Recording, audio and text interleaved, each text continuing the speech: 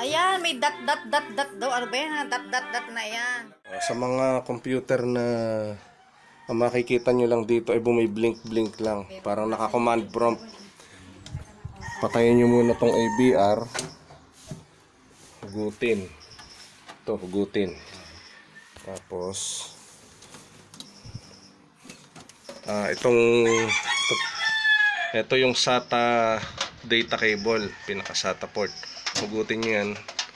Hugutin uli. Tapos kung may WD-40 ka, kasi ito kalaunan, pagka mga nakakaisang tag dito, kunwari isang taon nagamit, nagkakaumido yan.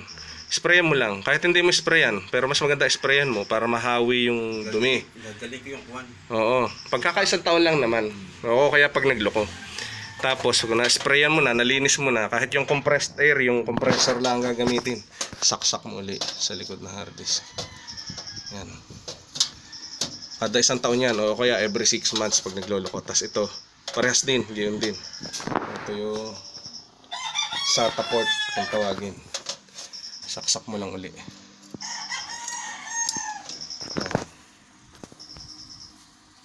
Oh, tapos itusok mo uli yung power cord. Tapos power.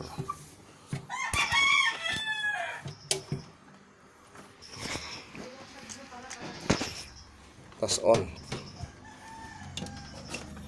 Yan.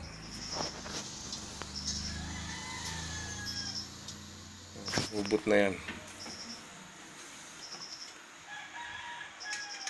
Yan, kaya hindi porke tag dito. Basta't ang desktop ay nagpakita ng ng ganyan, ibig sabihin okay. So yun nga lang, siyempre sa tagal, minsan pag ganyan yung lumabas, kailangan natin magpalit ng battery, no CMOS battery.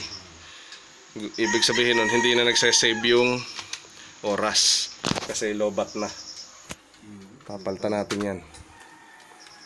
Ano, Tatama nyo lang para magamit ulit. 10. Ah, 10. Ito yung save.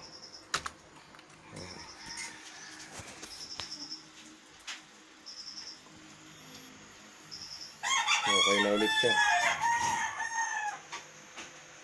So kaya ito, linis lang talaga.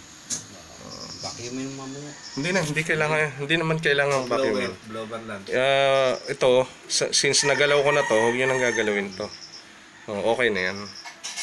Oh, pag nagloko na lang uli, saka nyo ano yun. Pero matagal na yan ulit kasi nahawi na yung dumi dito sa... Yung umido. Oo, oh, yung umido eh. Nagkaka-umido lang kasi yan, kaya nagkaka-problema.